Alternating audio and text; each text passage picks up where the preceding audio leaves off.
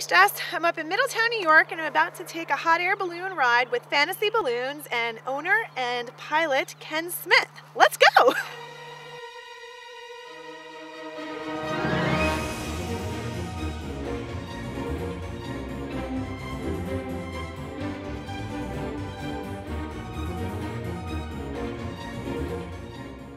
we were trying to track the balloon, so we headed out to go um, find it, but we had to switch directions and then take another road to go figure out where the balloon's going because the wind currents are different.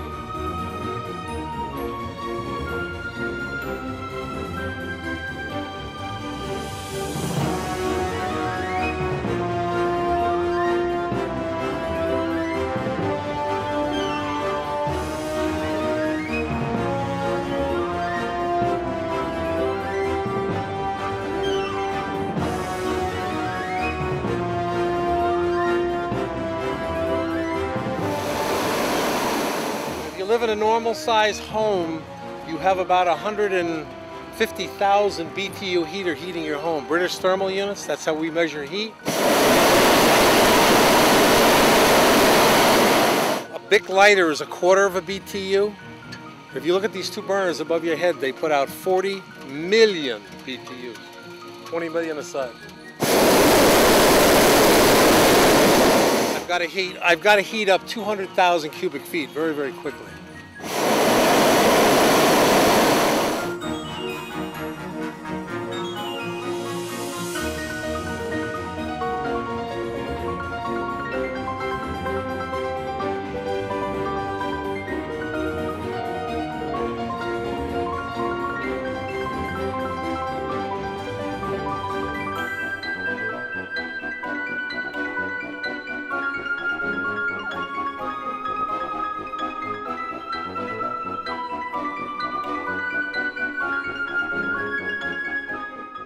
Hi, my name is Ken Smith, owner of Fantasy Balloon Flights. Lana and I uh, own Fantasy Balloon Flights. We are celebrating 26 years in business this year. Uh, from where we are, you can actually see the New York City skyline, the Hudson River.